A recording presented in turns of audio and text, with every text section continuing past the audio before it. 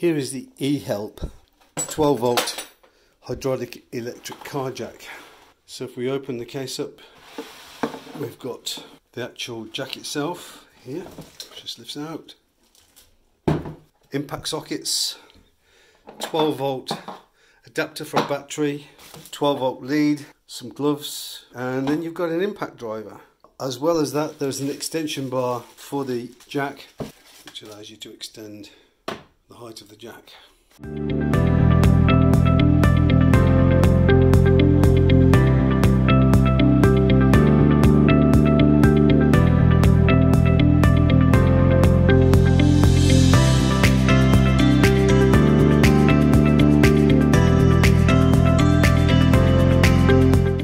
Powering up the jack is very simple. take the extension cable that you've got, which is quite long, plugs into either the 12 volt battery adapter or your 12 volt accessory point. There's an LED on there to show you that the power is on. Just pull open the, the flap on the right hand side, which is the air pump flap. Out pops the 12 volt accessory cable, and then just connect the two points together.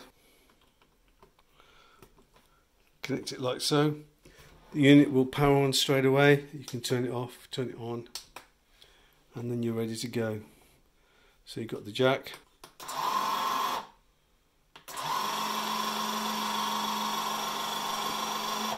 Then you've got the pump. And you've got the illumination.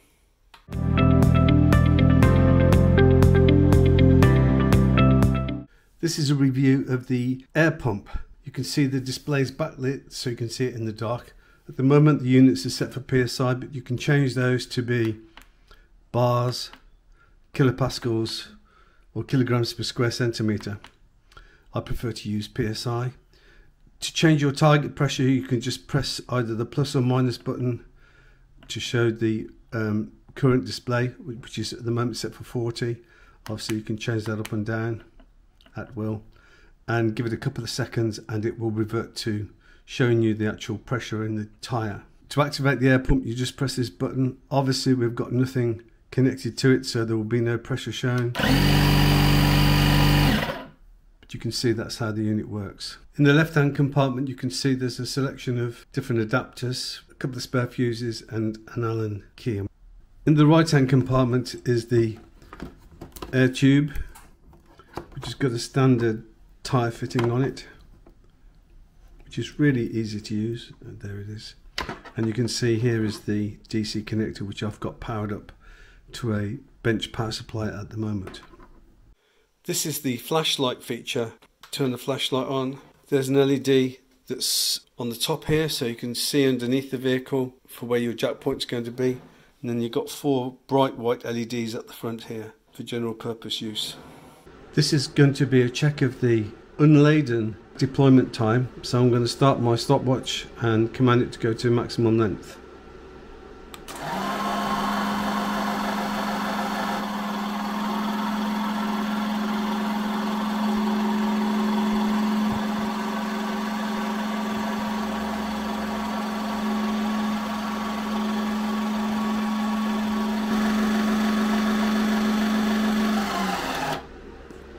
As you can see it took 1 minute 13 seconds to reach maximum length. I, I believe with the vehicle loaded it's going to take longer and I think it's necessary for you to have the engine running so you can keep the 12 volt power supply at maximum.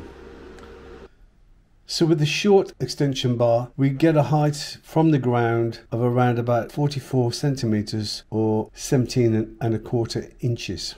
If we add the long extension bar, we roughly get 53 centimeters or 20 and 3 quarter inches from the ground.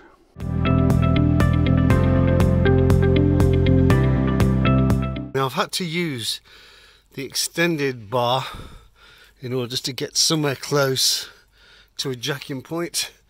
It's not actually a very wide area, but let's just see how we go. So we're starting to lift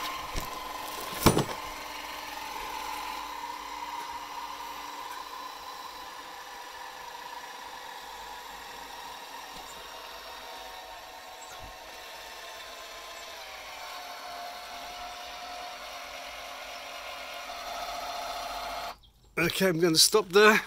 We now have a wheel in the air. So as a jack, it actually works.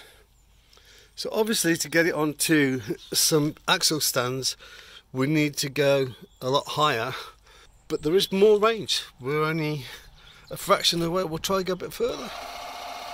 It's starting to struggle a little bit. But it is there. So we do have the vehicle in the air. Quite amazing really. If you were on the side of the road and you needed to do this, this would be an excellent tool.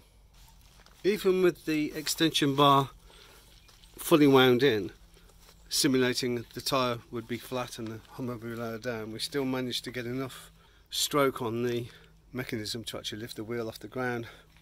One thing that is important is that these are not very good with sideways movement, so as you lift the Hummer up, you're going to put some sideways tension on the bar, which may not be a good idea. But at the moment, it was good enough to get the Hummer in the air, which would be a real time saver. Looks like we can do the job. We're just going to drop it down. One thing that would be important is that you had a battery in good condition because this probably takes maybe 5 amps, so it's quite a lot of load. And if your battery's not in good shape, then uh, you may struggle. You may have to have the engine running to do that. Obviously, if you're a garage or a workshop, this is not something for the serious car mechanic. For people like myself who rarely need to get their car in the air, want to save themselves a lot of physical effort, this is not a bad tool.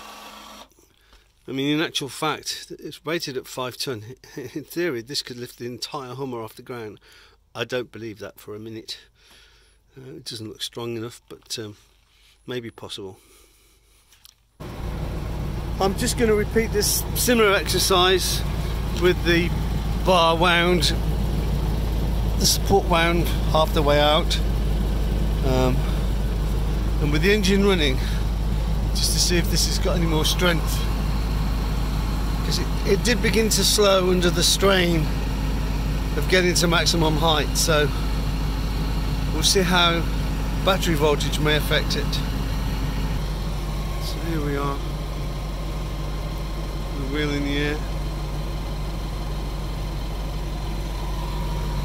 It is a bit more lively with, with the engine running and, and, the battery voltage high. So we're well in the air. We're a good um, three inch, three, three and a half inches off the ground and we have the car off the ground. How amazing. Well, let's put it back together. The other important thing to, is that you must have the handbrake on and the car can't move because that could be disastrous. This unit I don't think will take a lot of sideways motion for it to uh, fail and that's something you don't want to happen. So there we have it.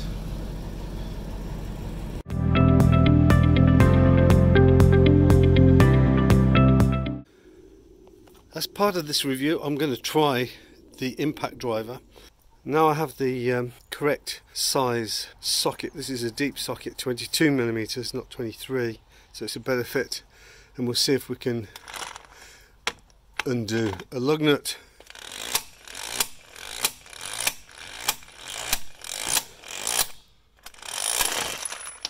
Well, would you believe it can actually take a lug nut off? Pretty amazing. Who would have thought that? Right, let's see if we can put it back on. Change direction.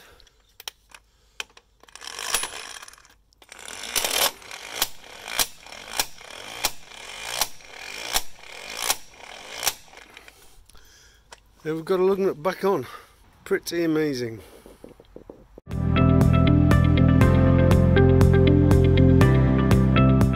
The correct torque setting for a Hummer H2 lug nuts is 140 foot pounds. I've got my torque meter on there. I had to fit a breaker bar because I can't do it with just a short shafted half inch ratchet and we've got to get to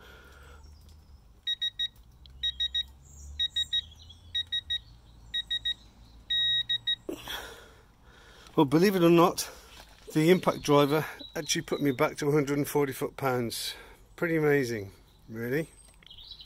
Yeah, just lucky for that particular setting, but good enough. Obviously, you're not going to have a torque meter with you when you're changing your wheel, so there we go.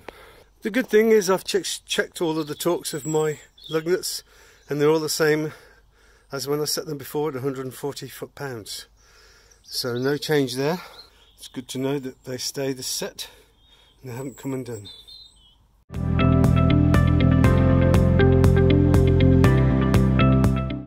Whilst we're here, we might as well check the tyre inflator. In the corner of the unit is your pipe. Now I've just checked my tyre pressure and it's actually at 38 so I'm going to let it down a few pounds. We're actually at 33 so I'm going to try and get this back up to 40. Checking the gauge on here, it reads 33.2. So this is accurately representing the tyre pressure. So now we're going to try and pump it up. You can set the target value, I believe, on here. If we set it to 40. That's our target pressure. It seems to cycle between showing you what it's set to and what it actually is. Very well done. We'll confirm that with our tyre pressure gauge. And it actually reached 39 and a half. I think that's pretty good. That's a success.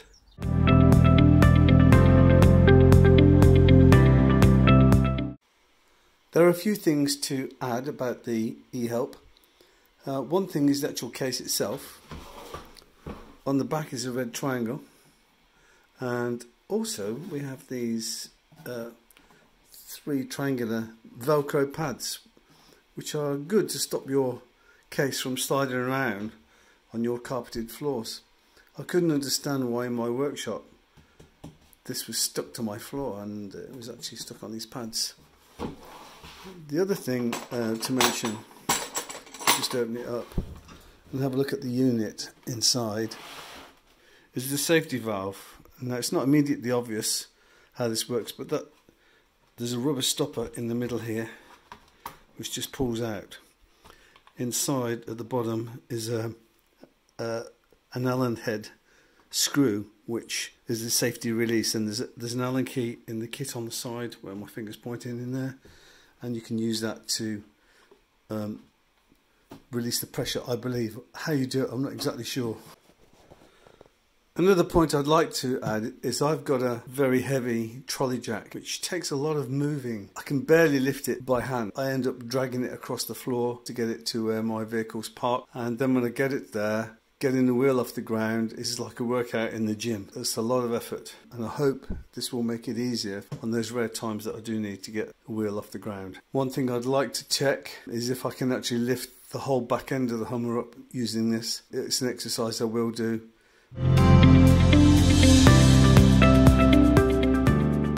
Thank you for watching this video. Please give the thumbs up, share and subscribe. Oh, and don't forget the alert bell.